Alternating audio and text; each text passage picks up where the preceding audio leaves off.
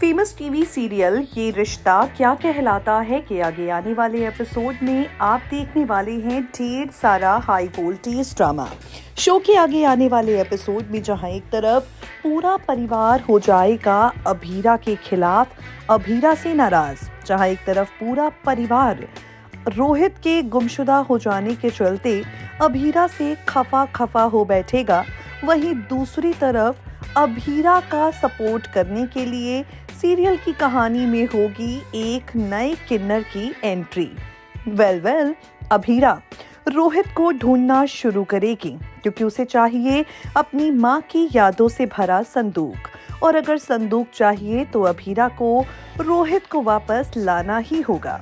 आगे आने वाले एपिसोड में आप देखेंगे, अभीरा रोहित को वापस लाने की कोशिश करेगी और वहाँ दूसरी तरफ़ एक किन्नर की एंट्री पोडार हाउस में हो जाएगी। नई बहू को मुँह दिखाई लेने के लिए यहाँ पर किन्नर पोडार हाउस आने वाले हैं और अभीरा अरमान के रिश्ते को लेकर बड़ी भविष्यवाणी करने वाले हैं। वेल ये शादी, जो परिवार के लोगों को लगता है कि एक डील है, उससे ज़्यादा और कुछ नहीं। इसी शादी को लेकर किन्नर करने वाले हैं भविष्यवाणी। अभीरा अरमान को देंगे सात जन्मों तक साथ रहने का आशीर्वाद। और ये आशीर्वाद सुनकर जहाँ अभीरा हैरान, अरमान हैरान, वहीं रूही जलन की आग में जल जाएगी।